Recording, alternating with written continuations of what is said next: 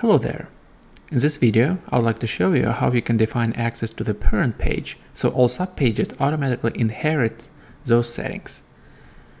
Let's say you have a, a top level page and some subpages.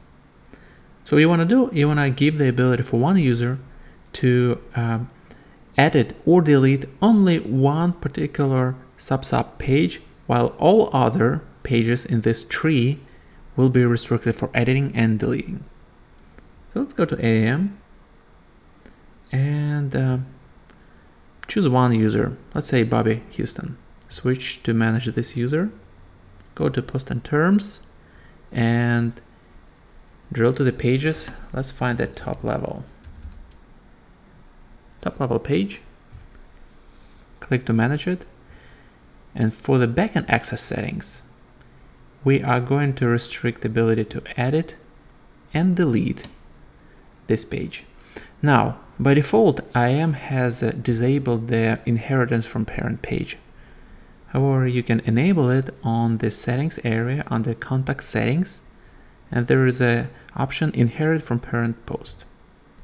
Enable it. Let's go to access and switch to Bobby Houston go to pages. And as you can see, all these pages are restricted. However, remember, we would like to uh, give the ability for him to manage this level 3B page. So let's go back to AAM